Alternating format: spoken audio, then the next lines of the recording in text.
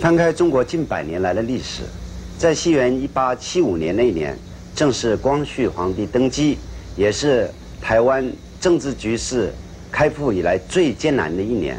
当时，在台湾，清廷已经派了上万的部队驻扎，每一个地方都可以看到开山逐鹿的啊武装部队，而就在那一年的六月份，啊，清廷海关委托了英国皇家地理学院的毕奇里先生，他来组织了一个八十几人庞大的探险队，准备呢从高雄的旗津半岛。往南一直走到台湾最南端的鹅銮鼻，为了呢是要建一个灯塔。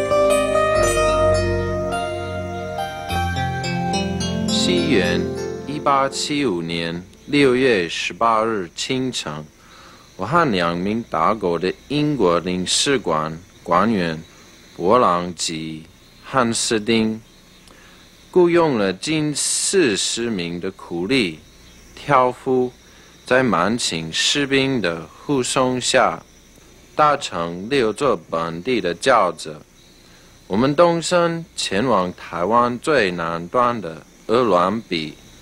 展开新建灯塔的探勘工作。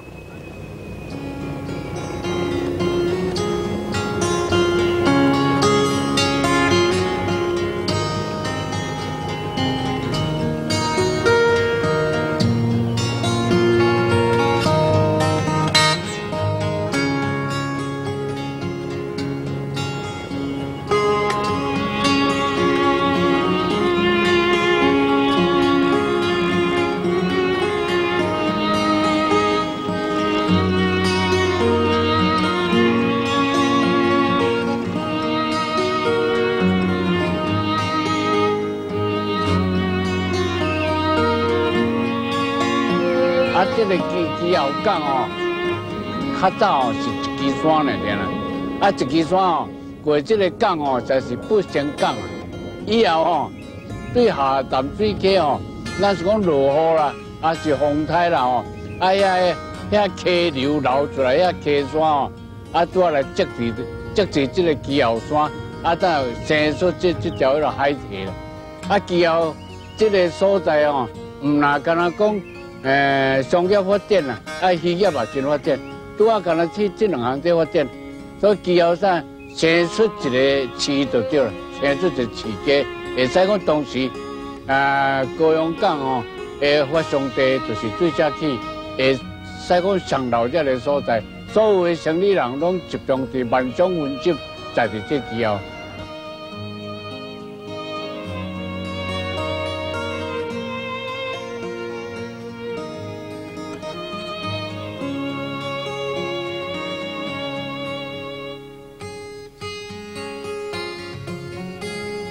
这个沙场的气候半岛大约有六里长，由黑色的玄武岩沙石所构成，土壤非常肥沃，而且已经被高度开发，到处都可以看到茂盛的木兰和一大片的红树林。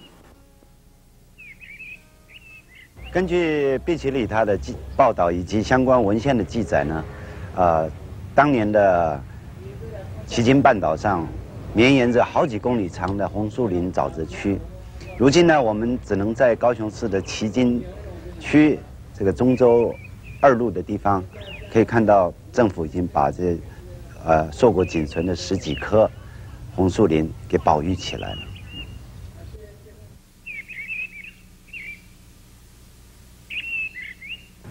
迄个红墙啦哦，都拢计是即个钢旗啊，是即个钢旗啊。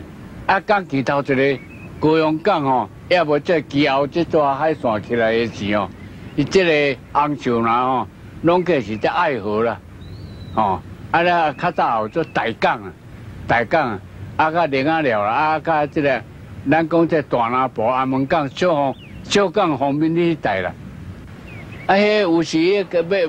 要开个要开别港啊，要做这换别关的啦，所以日本人讲这款无好了，无需要啊，无需要，所以就要甲做厕所啊，啊再创个较清气上咧。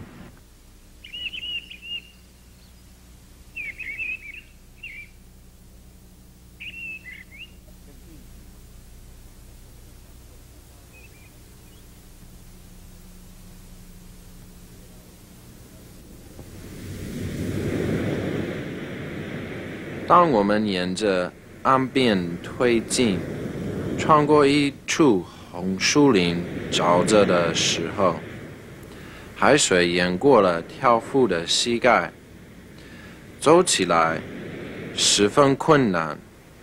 队伍出发没有多久，就开始下雨，轰隆的雷声混杂着滚滚的浪涛。狐狸们为了躲避倾盆大雨，便把轿子放在树林里的干地上。这个时候，我看到轿子前面的满清士兵，他们身上穿着蓝色的军服。我不了解为什么他们的背上会有一个白色的大圆点，因为这样。正好可以作为敌人攻击的靶心。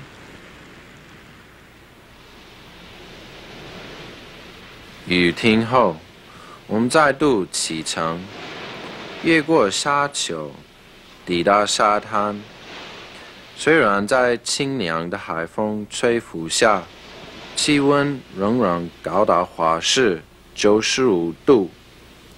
挑夫们在这样燥热的天气下工作，特别辛苦，而且也容易疲倦。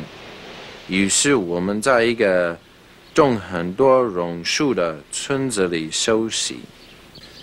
这里的村民看起来生活十分满足愉快，整个村子也显得宁静和谐。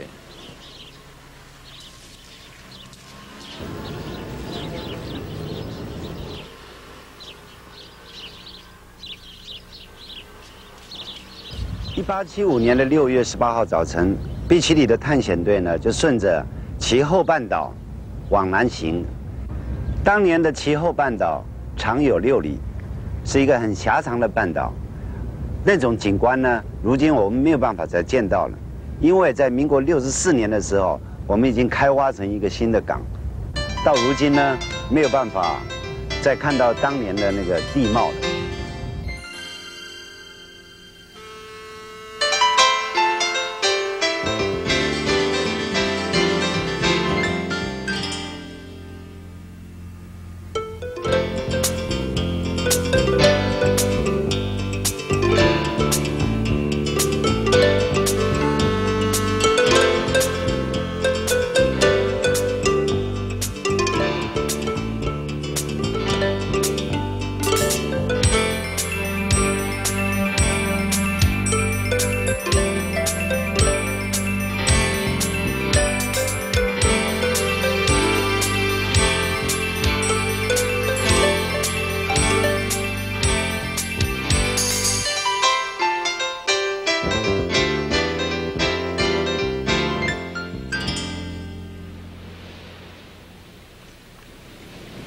继续往南推进，地上布满了黑色的玄武岩，在阳光的照射下，冒着腾腾的热气。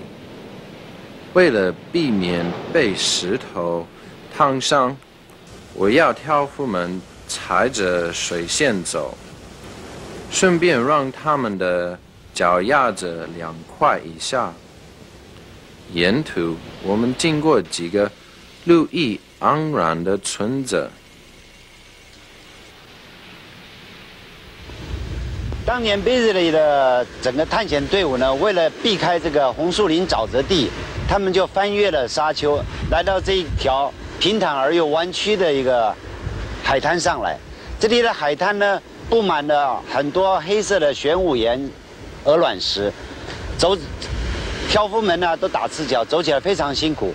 而那种海浪滔天的景观呢，和现在又大不相同了。各位可以看到，都是。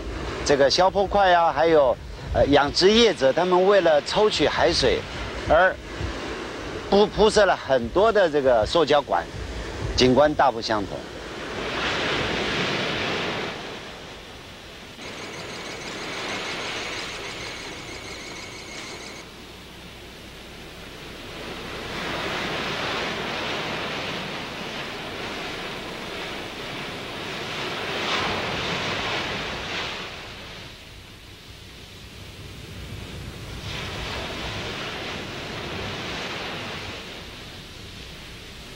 雾树是一个靠海的渔村，有几条小溪在这里汇流。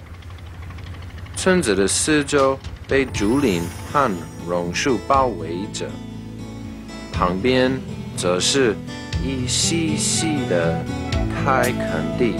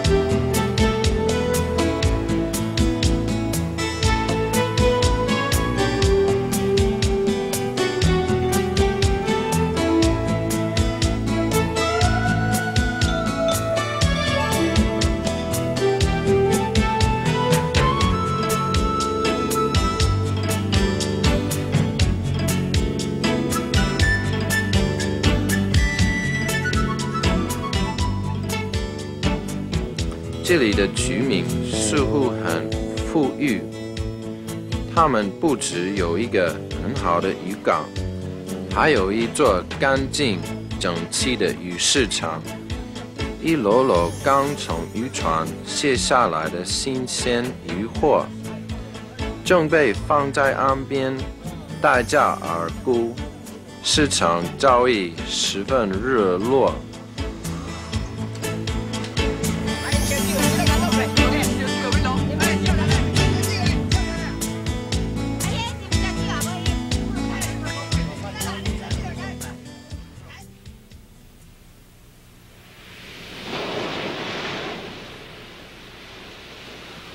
一行人走过了几条小溪，来到了一处河面宽广的出海口。这个时候已经将近下午五点了。我们打算在这里渡船到对岸的东港。现在的时刻是下午的四点五十，也就是在一百二十年前，梅子里他这个探险队伍。在同时来到这个高平溪的出海口，然而当初呢，他只能靠渡船才能够将全体人员安全的送到东港去。如今呢，我们是靠着一个高平大桥就可以很便捷的到达东港。这条高平溪呢，旧名下淡水溪，仅次于浊水溪，是台湾第二大河。由于河域的宽广深峻，船只可以直入。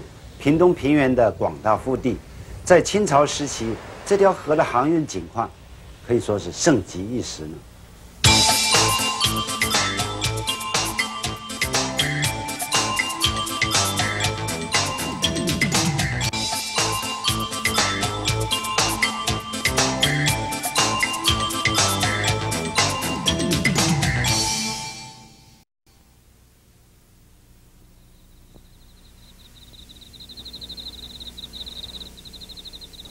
六月十九日，为了走更远的路，我们提前在午夜出发，但是苦力们似乎不太愿意。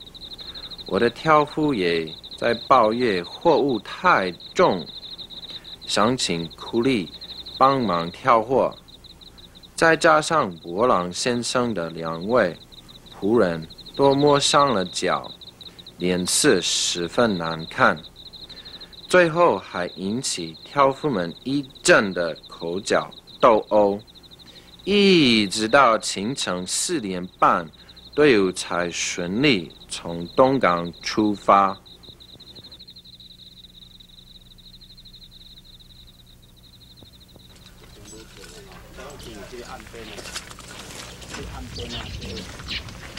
东港位于一条水深良好的河岸。是一个繁荣的港镇，在接近沙洲的河口，住有六七千人，房子大部分都是用竹篱笆或茅草搭成。所以又跟大陆贸易哈，所以这边是我们东港以前呢最早金华地区的商业区是在这边。那因为啊现在是。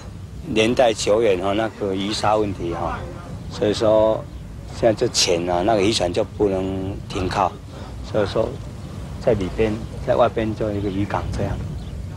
那这一时代因为也没有那个渔船了，只有那个竹筏，所以说竹筏的话，就是说以前是在这里出入。这里是容客船的大贸易港。据我估计，大概有二十八艘容客船正停泊在河边，等待装卸货物。有些船载着陶器、铁器或一些布料，准备运到厦门、香港等地贩售。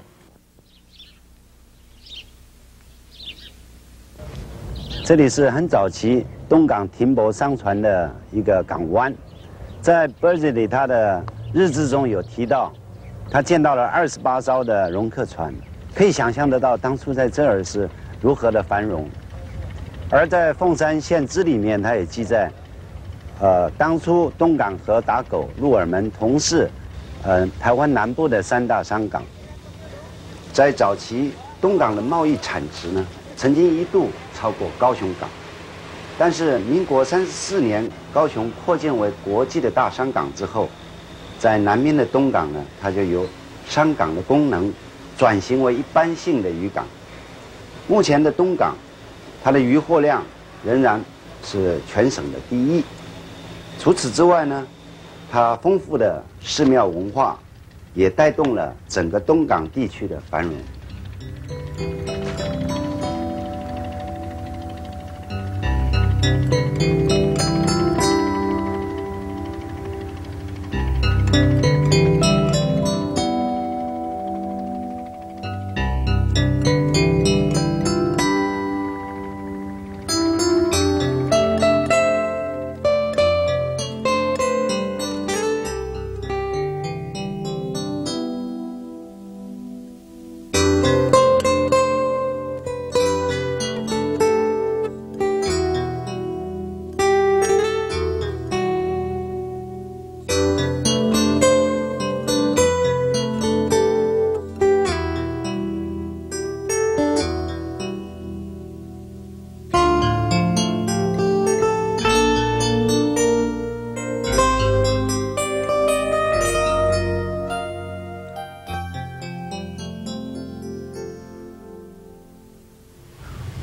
过东港南边的泥泞沼地，沿着两边种满林头树的大马路向南前进。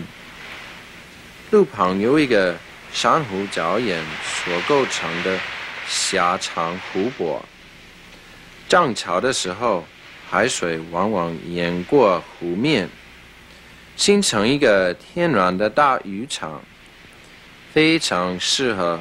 牡蛎的生长。清朝这个这个范围，这个这个河拢总哦，原来是合作港啦，合作合作金家埕港啊，讲南边港啦吼。啊，但是呢，原来原来有鹅啊，人拢在吃鹅啊，是这啦吼。啊，甲甲这个范围拢总差不多陆地吼，因挂陆地拢总差不多两千家过来。哦，这个日本要发生第二次的世界大大战啦吼，当在这个迄个基本是做水上机场啊，啊水上机场战争战了就煞失败啦，吼，飞行机间啊，杀人多是真嘛吼，啊即嘛即嘛搁过来的时啊，装装个遐个。遐个遮的人就落去钓鱼啊，吼，饲鱼啊，放鱼啊，这生活安尼，啊，啊，到即阵。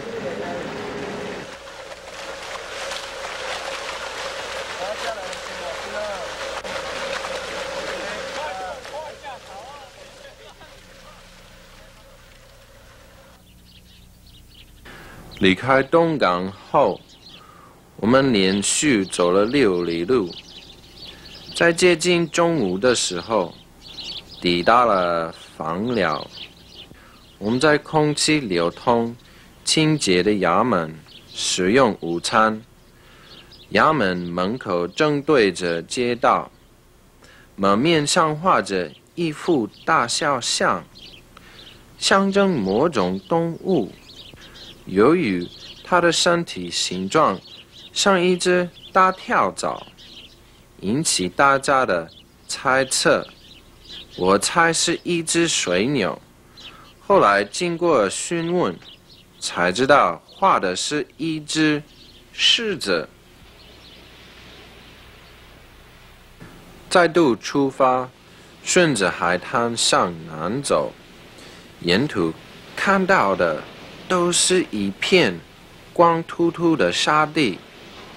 好不容易。我们渐渐地进入了土著的领域，来到了王将军的军队总部——赤铜角。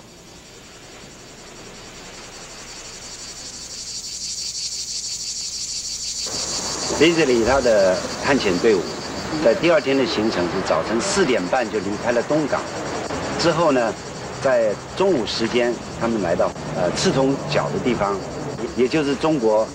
军队和这个呃原住民作战的地方，这里居然住有七千个中国部队，由什么人统领呢？就是当初的呃福建省的巡抚叫王凯泰，他是兼台湾全岛的这个军民的总管。没有想到，我们外景小组在访山地区呢，由一位八十岁的老乡民引导我们找到了一个。王王将军的小庙，这就印证了我们中国人所说的“生而为鹰，死而为神”这句话。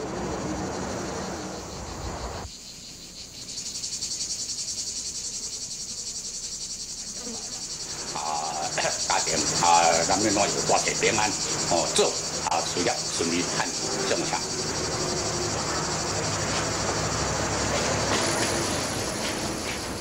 我们清朝时代呢，诶，清朝时代诶大官来要出门呢，要去拍这青番咯，伊就拢介绍摆啊，拢拍这大鼓片片叫你去哩，哦。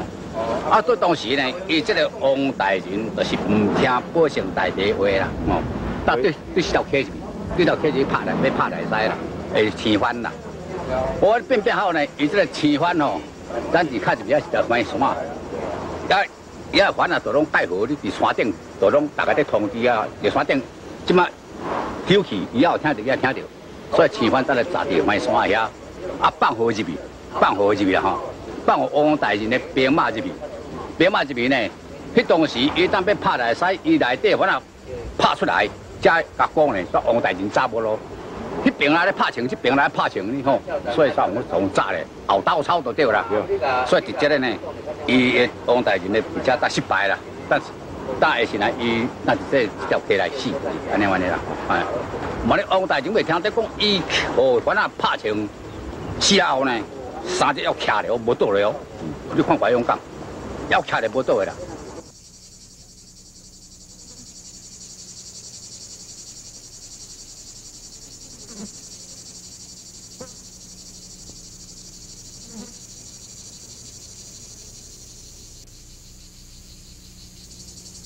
我们在县老爷的衙门休息，负责接待我们的是这里的地方官，一位姓周的巡检。周巡检的个子不高，鼻头上翘，眼睛水亮，生来一张充满智慧的脸。他有许多才能，包括教上树。他还带我们参观自己拍摄的一些人物像。周有基在当时哦，他后来是呃恒春城啊，恒春城设立以后的第一位第一任知县呢，就是他县长，就是他哦，就是周有基这个人。那包括了说后来蓝屿的被探勘哦，被纳入跟中国的领土啊。也跟周有基有非常大的关系，因为是周有基从恒春坐船去南屿探勘，他是第一位中国官员到那里去的，啊，那么周有基，他给我们的在这趟旅行给外国人感觉，或是给我们自己的感觉来讲，他都是一个不同于当时一般清廷的官员哦，他是一个比较比较积极的、热心的，有一个比较有大的视野的一个清朝官员。经过一天的旅途劳顿，我和伯朗想洗个澡，轻松一下。于是，他们准备了两匹马和八名士兵，护送我们前往一座山区的河谷。我们在池子里愉快的浸泡，四周树林非常浓密。树上还有许多猴子和美丽的蝴蝶。洗完澡后，我们决定走路回营区，让士兵骑马回去。一路上不断有人从马上摔下来，十分有趣。我想他们一定是属于步兵。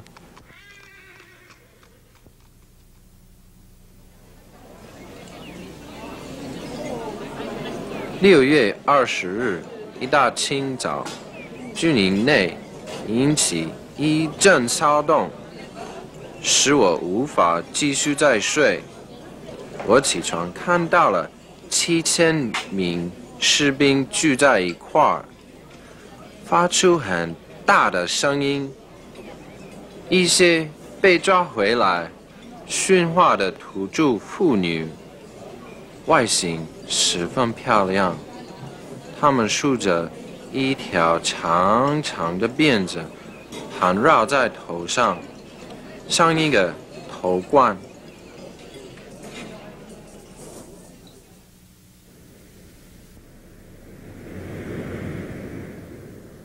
离开赤铜角，就瞬间加入我们工作的行列。队伍沿着海滩。继续往南走，这段沙滩仍然由沙石和玄武岩所组成，形成山海意味的地势。我们在凤岗的村长家中稍作休息，立即赶往车城。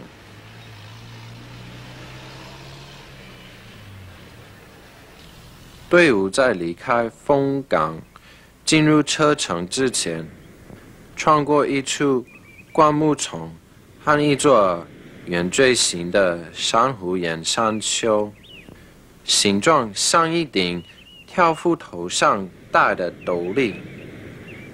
不一会儿，队伍走到正对西方的海滩。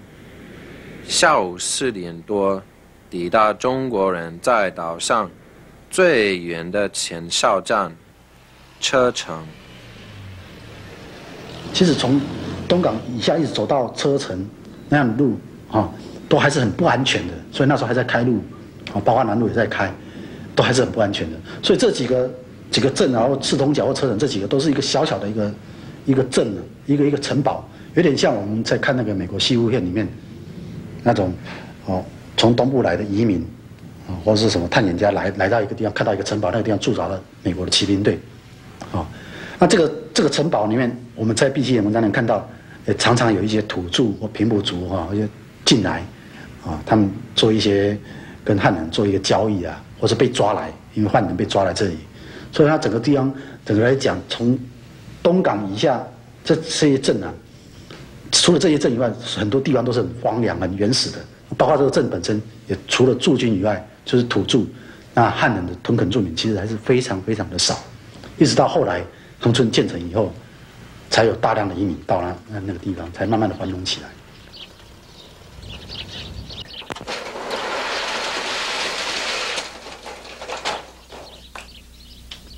哦，接下来，这个把它放上去好。那原来车子有几个？呃，原来有这个三个门的，东门、南门、北门。呃，这个因为当时是用土块做的这个城这个城墙了，那么这个是一个在城墙门楼挂在上面的这个这个石碑，后来这个土块这个土墙统统倒了，就把这个石碑收拢到收集到这个完工里面来。车城，这里有石墙长门。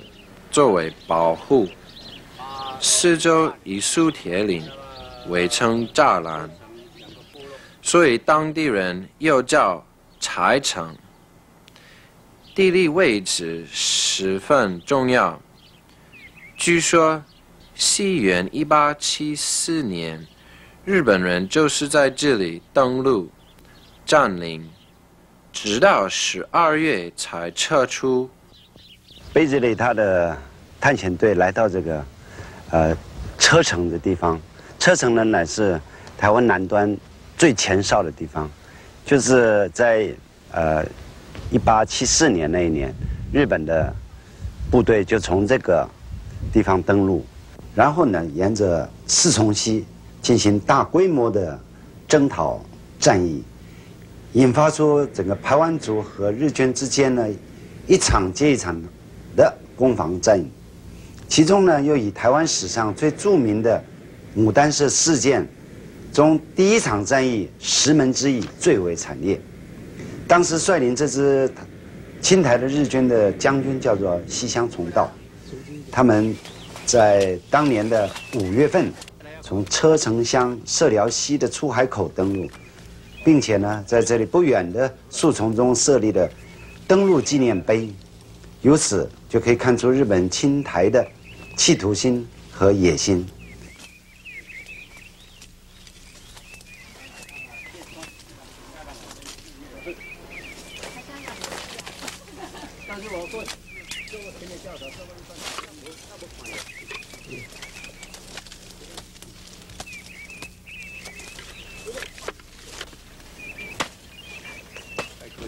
这个是接那个牡丹社事件的那个琉球犯病事件的，对，他们是强来的登陆这个占领台湾，那么当时是从这个地方登陆的，嗯嗯登陆以后过过二十年甲午战争，台湾又割让给日本，嗯，正式过来统治，嗯，才有这个纪念碑，嗯嗯嗯这个是日本人做的，不是我们中国的东西，嗯，不过在我的想法说。旁边应该再放一个对照表啊！我们当时是怎么被日本侵略，给他们这个这个欺压，留给后代人家知道说哦，原来这个是国耻，不要把这个毁掉了，太可惜了。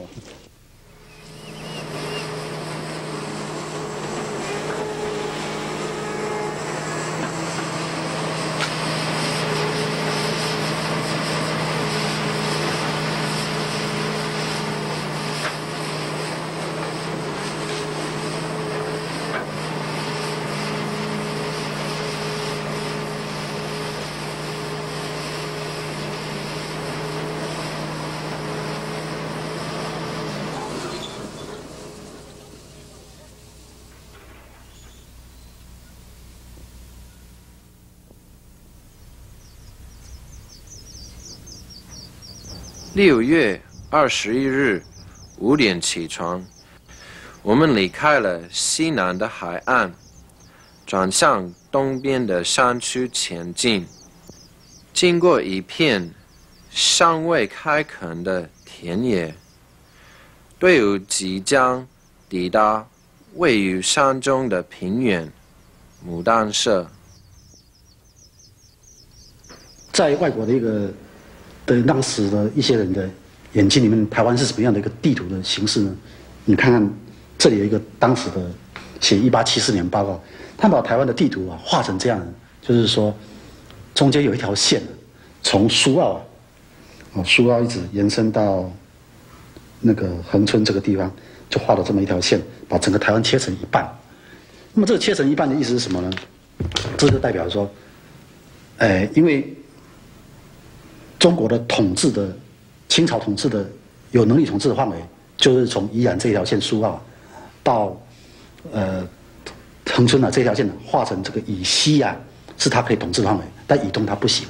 所以牡丹社发生事件发生的时候，清朝呃日本政府去问质问清朝政府说，清朝给他的一个最有利的借口是那是化外之地。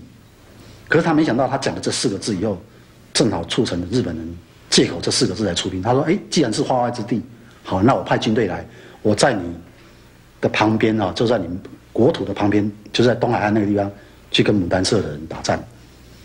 哦，可是这一打战打起来之后，清朝发现他这不对的，啊，他说这个怎么可以侵略我的领土？啊，可是今天我所以这个就变成说，清朝后来就是派军队派重兵哈，差不多快要一万人士兵派到那个那个地方跟日本军对视来。”可是这里面就出现了，就是说，那当时，哎，外国人事实上并不认为台湾是有一半土地并不是中国，这是很有趣的观念。台湾事实上，台湾的统一是在一八七五年以后，清朝统治台湾三百年来，到了一八七五年以后，才把它的辖区管理到了台东跟花莲，但是在一八七五年以前根本没有达到这样的能力。牡丹社是中国新的山地管辖区，房舍多半是茅草，四周用木栅围绕着。我们在村长的茅屋歇脚，这里的住民也非常开化，有礼貌。我们交代他们喝一些雪莉酒，他们表示十分喜欢。许多小孩子好奇的围着我们看。博朗先生画了一些船和动物的图案来趣味他们。我也让他们贴着我的表，聆听滴答声。休息三小时后，我们向中东的方向出发，沿着一条很好走的牛车路。穿过山峦，远方有一座单一的山峰，特别突出在群山之间。我以波浪先生的名字叫它为波浪峰。下午三点半，队伍来到舍马里，周巡检站在村子首领的。屋前，准备茶水，等候我们。天花在此地非常流行。有一名感染天花的小孩被带到我们面前，他的颈子发肿，眼睛几乎失明。村民误以为我们是医生，所以当他们知道我们只是官员的时候，显然十分失望。周宣简带我们去找一位汉人，听说他和土著的首领潘文杰有交情，希望他能安排一个访问，让我们穿过土著的领地。他带着冷淡、傲慢的表情拒绝我们的请求。然后，这位汉人非常不礼貌的起身离开。后来，博朗先生从出子口中知道，这里的人不怀好意。我们赶紧把货品搬进屋里。午夜的时候，我还不停地起来检查闸门。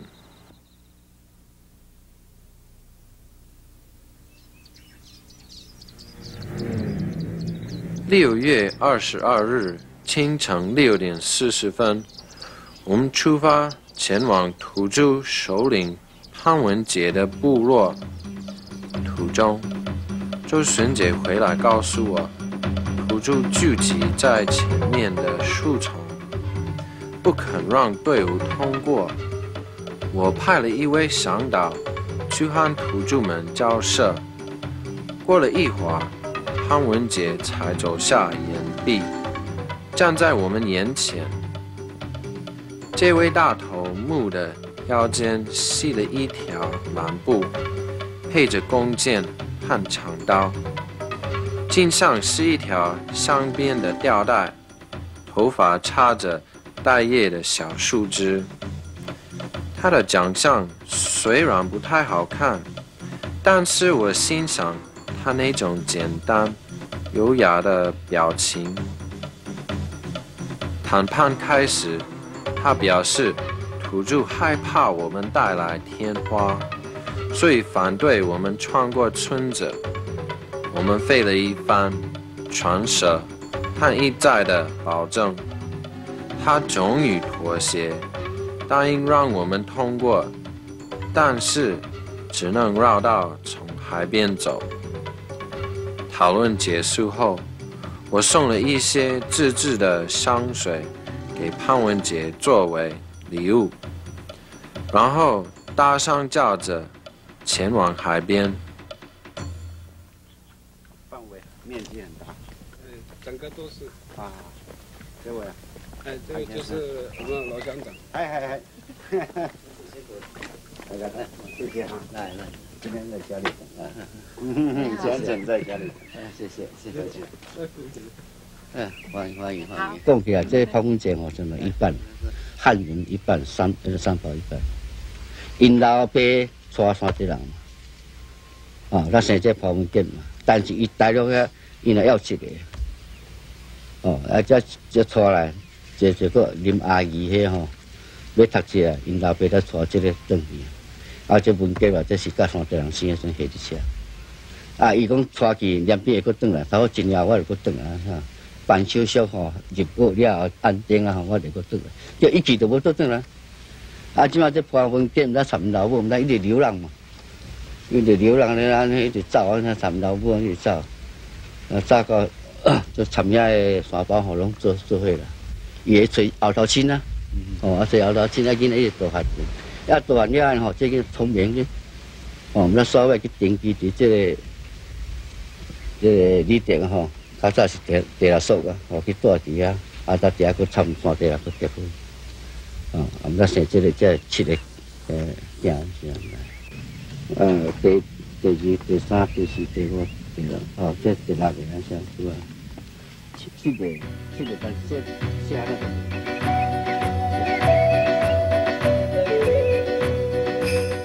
我们沿着溪流而行，抵达河口，绵长的沙滩，面对着浩瀚的太平洋。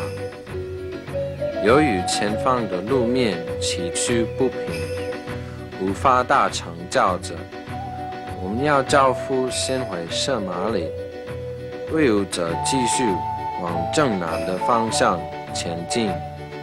下午三点半，越过一块美丽的长草坡和林头树丛，看到了一里外的鹅銮鼻。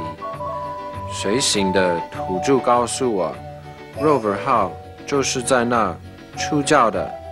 他们曾经抹杀船上的水手，包括汉特船长的妻子，因为他们误以为他是个男人。台湾是个非常重要的海运的航道，可是台湾海峡风浪特别险恶，巴士海峡也一样。所以那个地方船难特别多，船难以后又一个比较麻烦是，因为台湾本身啊住住了非常多的种族，我们知道我们现在目前说有九族，那一直有当时在欧美的一些海上的船只，他们一直有一个呃水手，他们一直有一个传说啊，就你在船难啊，你到中国船难那没事，就最多是被中国海边的渔民把你救了，可是你到台湾的船难就不一样，你如果不小心你一船难你上去的话。你可能你的连头颅都不见了，会被杀了，哦，头都不见了。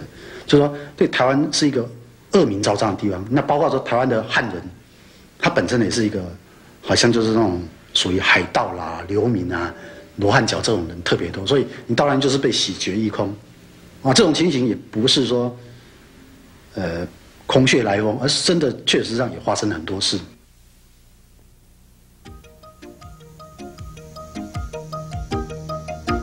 六月二十三日六点半，我们动身前往鹅銮鼻。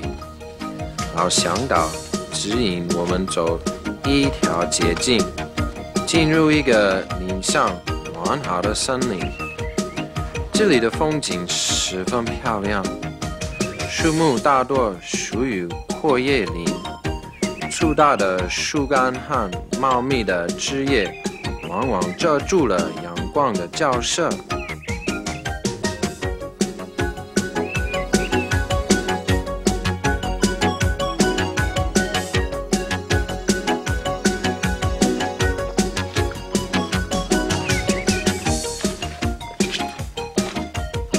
在林间穿梭了好久，才抵达西岸的琼礁湾。探险队伍离开了潘文杰之后，他们继续往南行，就开始进入一个面积非常广袤的热带雨林区。但是他们花了很长的时间在这个现在普顶以北的草原区和啊海岸热带雨林里面打转。然后到了后来，他们来到两个大夹角之间的呃琼礁湾，也就是今天的香蕉湾，属于呃垦丁国家公园的。生态保育区。队伍继续往南走，在一次休息的时候，我听到后面有一阵骚动，狐狸们背着货物奔来，我以为他们又偷懒，受到官员鞭打。后来我才知道，武装土著在后面包围，不准我们向前走。武装土著中有三名首领靠近我们，并招呼其他的人围过来。他们想知道我们要到鹅銮鼻做什么，于是我画了一张灯塔的草图让他们看。其中有一名土著走过来，摸摸布朗先生的连发手枪，要求看一下。布朗先生相信，展示手枪的威力，或许能制造一个有力的影响。于是就把子弹全部射向对岸。他们看了之后非常知趣，不敢再戏弄我们。周勋爵对三名首领说明这个工作的重要性，并强烈的表明。完成这项任务的决心，他们聚在一起商量。最后，有一位年轻的首领挥手，表示我们可以继续前进。由于天色已经晚了，我们决定先回茅屋休息。当天晚上，苦力们又累又怕，引起了一阵慌乱。吵着要回舍马里，周宣简严厉地警告他们，不准离开，否则将受到严重的处罚。夜色的阴森助长了周宣简讲话的威严，再加上外面正下着雨，阻止了一些人的脱逃。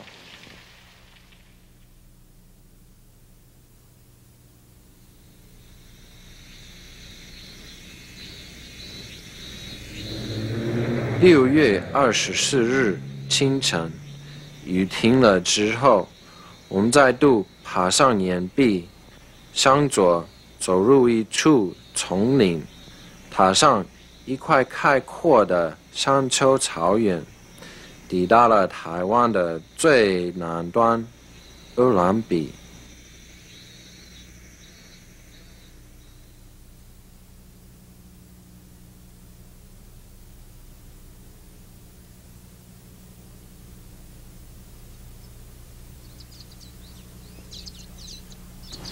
这块坡地非常的漂亮，如果不是亲眼看到，实在难以想象。草短坡缓，好像经过人工的保养。我发现林中的土著正在监视我们，而且还不断的向向导打暗号，要向导叫我们赶快启程。我们在丈量完成建塔所需要的土地尺码和角度之后，匆匆的离开了鹅銮鼻。